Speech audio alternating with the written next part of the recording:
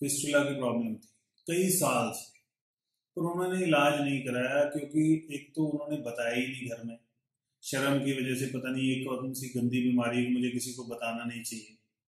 और फाइनली जब बताया तो उनको ऑपरेशन का डर था कि पता नहीं कितना पेनफुल ऑपरेशन होगा, मुझे कराना ही नहीं चाहिए ऑपरेशन तो मल्टीपल एक्सटर्नल ओपनिंग थी, यानी काफ़ी सारी ओपनिंग थी और इंटरनली ओपनिंग एक थी सिक्स ओ क्लॉक यानी ये फिस्टुला जो था टेन ओ क्लॉक से घूम के सिक्स ओ क्लॉक पे खुल रहा था। हमने इसका R I K T technique से ऑपरेशन किया।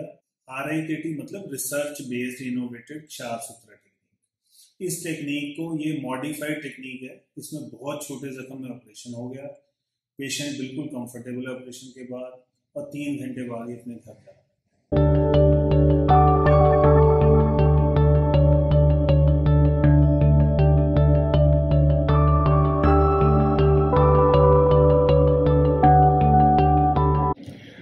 ਬਾਬਾ ਸ਼ੇਰ ਦੀ ਬਿਮਾਰੀ ਸੀਗੀ ਜੀ ਮੈਂ ਬਹੁਤ ਇਲਾਜ ਕਰਾਇਆ ਬਹੁਤ ਪੈਸੇ ਖਰਚ ਕਰੇ ਕੋਈ ਆਰਾਮ ਨਹੀਂ ਆਇਆ ਹੈਗਾ ਹੁਣ ਮੈਂ ਉਹ ਇਲਾਜ ਕਰਾਇਆ ਰਾਣਾ ਹਸਪੀਟਲ ਦੇ ਵਿੱਚੋਂ ਬਹੁਤ ਵਧੀਆ ਇਲਾਜ ਹੋਇਆ ਬਹੁਤ ਸਹੀ ਹੋਇਆ ਜੀ राणा हॉस्पिटल की यही है रीत फिस्चुला पर होगी सदा ही जीत